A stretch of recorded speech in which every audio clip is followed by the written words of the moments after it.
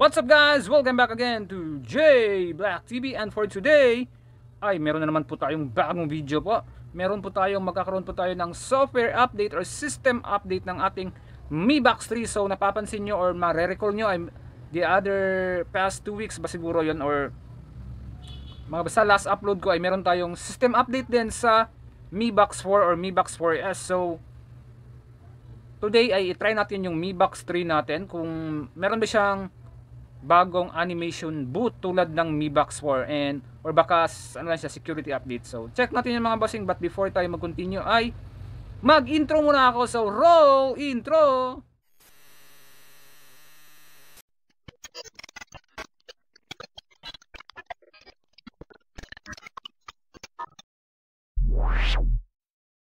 J-Block TV Tech Review.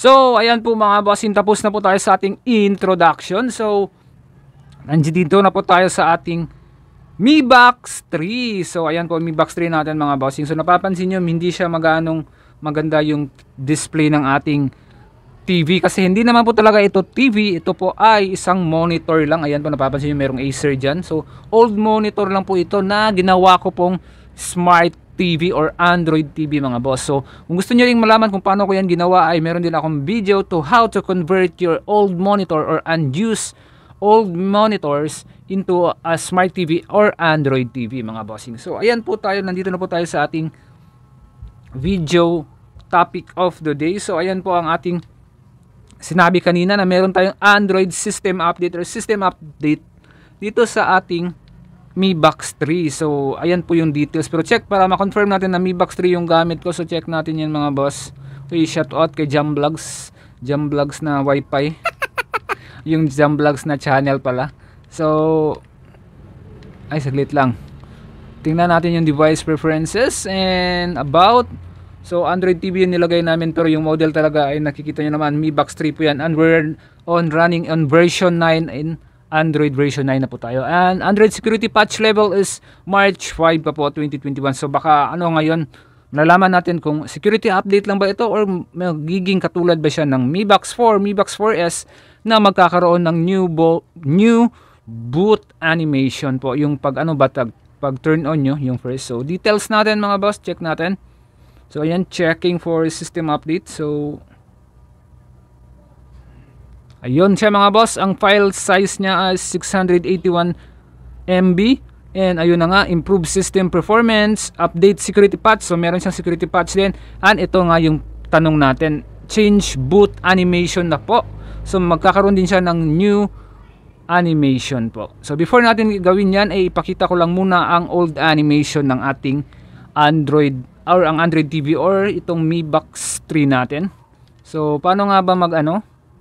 Mag-restart. So, ilong press nyo. Ayan, meron din akong ano, ano dyan, video. So, ayan, restart muna natin para makita nyo yung animation, boot animation ng ating Mi Box 3. So, ayan po siya mga boss.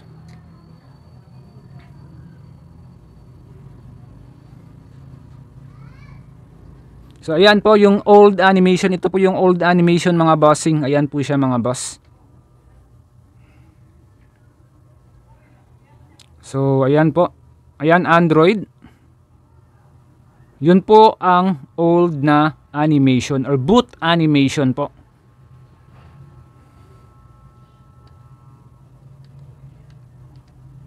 So, proceed na tayo sa ating system update. System update na po tayo. So, system update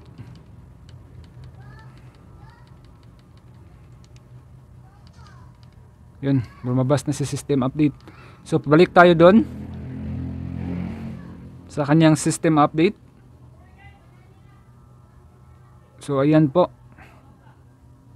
So click natin itong download. So click the download.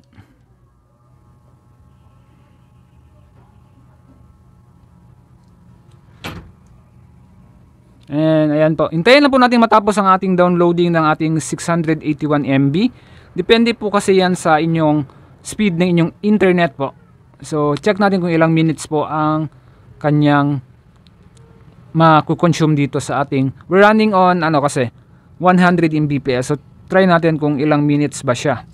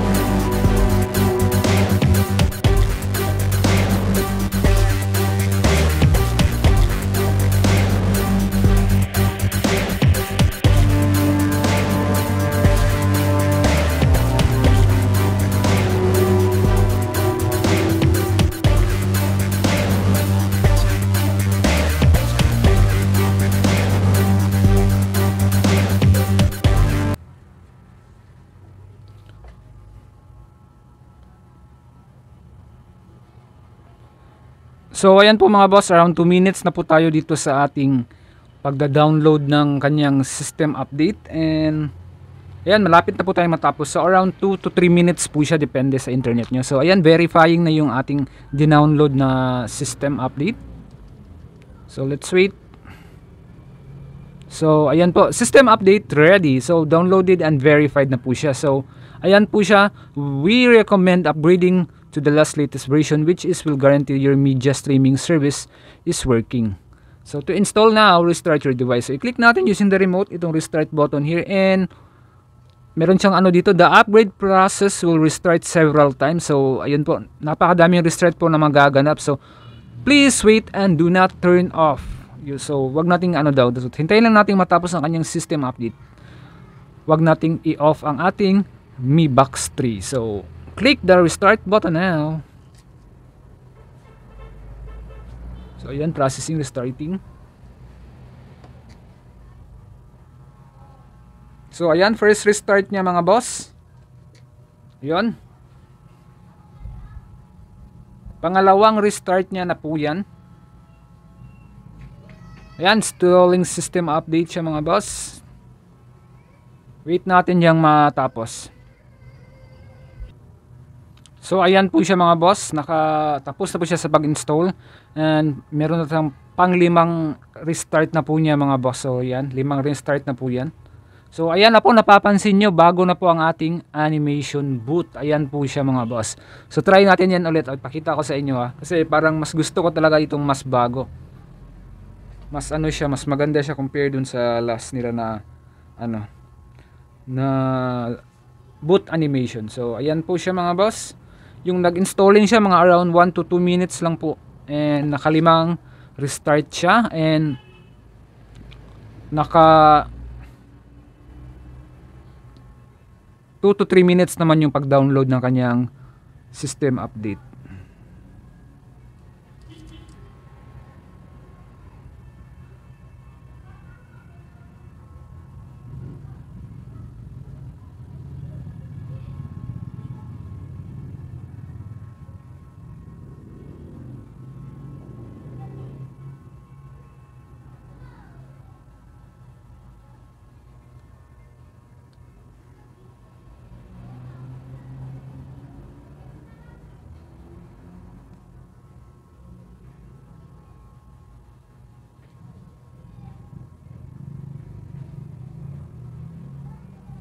So ayun po, nandito na tayo sa kanyang homepage.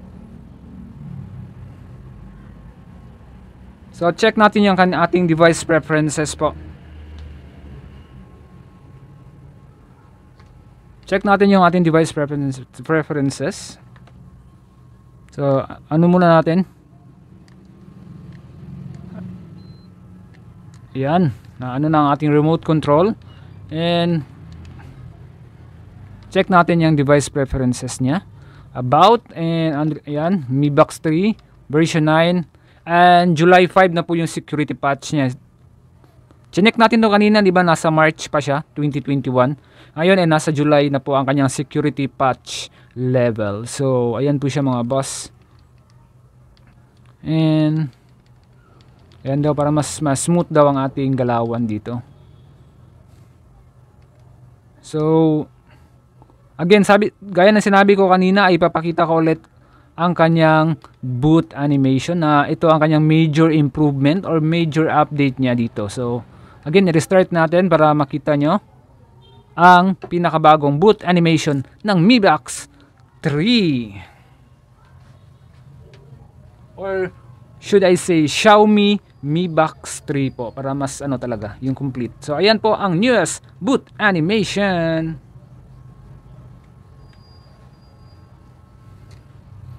So ayan po ang ating newest boot animation.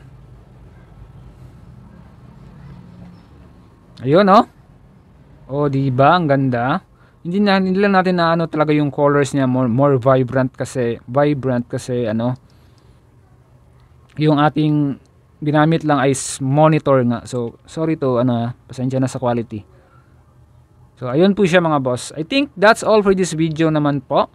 And maraming salamat po sa patuloy na pagsusupport ng ating mga uploads and asahan nyo po na magsisika pa tayo para mas gumanda ang ating video quality at ang ating mga contents. Mas dumami pa.